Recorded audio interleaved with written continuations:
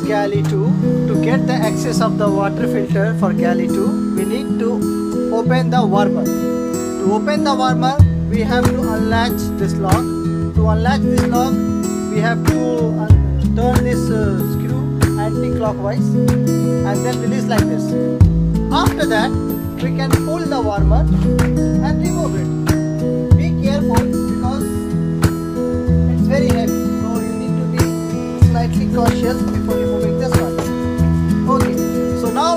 Get the access. We can see the water filter. Okay, so now we can see the water filter there. Valve. This is the shutoff valve. And we, after closing the shutoff valve, what we have to do? We have to drain the line water because there is a water in the line. So to drain that, we will press the spigot and the water will come out. The water is coming. It will stop automatically after few time, uh, after few minutes, when the line water is completely drained.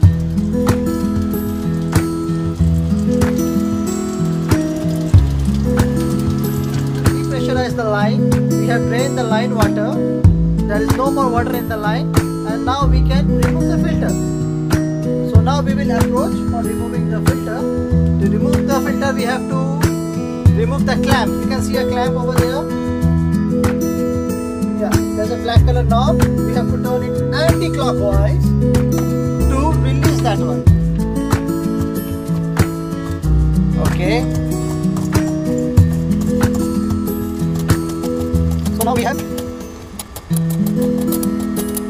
release the clamp. See, the clamp is loosened now. But sometimes what happens, it's very hard to turn this knob anti-clockwise because the housing of the filter is pressurized. The pressure sometimes doesn't get released from the uh, spigot. So what we can do in that case? In that case, we can release the pressure by turning this top. See, you can there is a screw. You can see there is a screw. We can turn this knob anti-clockwise.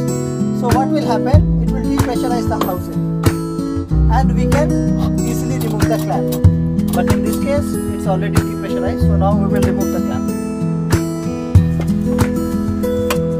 As you can see, we have removed the clamp. We have removed the clamp. Now we are going to remove the cap of the filter housing. It's very easy. You can see there is a O-ring seal, seal for this so that there will be no leakage of water. The seal looks like this. And now you can see the filter. To remove the filter, you have to turn the filter anti-clockwise like this. Remove it from the housing. As you release the filter, you can remove it. The filter look like this. You can have a look. It has a wire mesh. So once you remove the filter, you can't put it back. You have to put a new filter. You can't reuse it. So discard this one. We have a new filter. So now we'll put it back.